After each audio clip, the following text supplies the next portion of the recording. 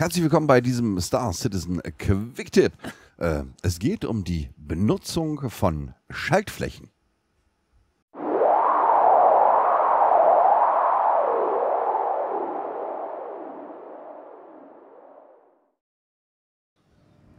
Ja, wir sind hier in Star Citizen und äh, ich zeige euch, wie man Schaltflächen effektiv und schnell benutzen kann. Natürlich kennen wir alle F drücken, halten, mit dem Mauscursor darüber gehen und entsprechend klicken. Das ist eine Möglichkeit. So, jetzt stehen wir hier hinten und äh, wir möchten gerne zu einem bestimmten Hangar. Das heißt, wir fiddeln hier jetzt rum und, und, und scrollen und wenn wir dann das Mausrad nach vorne, um wieder hoch zu scrollen, dann wird es groß und klein. Das können wir uns alles schenken. F drücken, halten, mittlere Maustaste auf das Display und schon können wir uns hier rumbewegen und scrollen, wie wir möchten ohne dass sich das Ganze groß und klein verschiebt. Wo muss ich eigentlich hin? Äh, Hangar 9. Zack.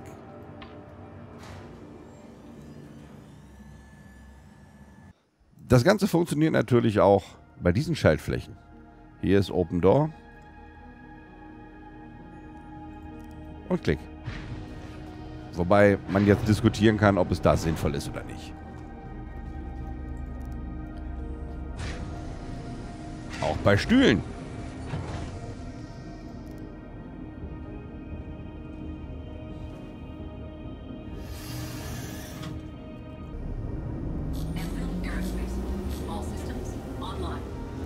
Und natürlich, und da ist es nochmal besonders wichtig, funktioniert das auch bei den Displays. Wenn ich hier jetzt zum Beispiel runter scrollen möchte, funktioniert das hier relativ gut, aber sobald ich wieder hoch scrolle, verschiebt sich alles und hier hin und her und vor und zurück. Einfach F drücken, drauf, mittlere Maustaste.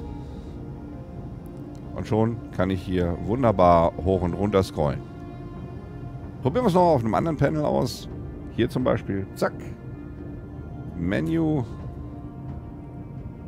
umschalten auf die Weapons, Power, auf die Items, und scrollen. Schaut auch bei den weiteren Quick-Tipps rein. Und äh, ja, bis zum nächsten Mal. Bye bye.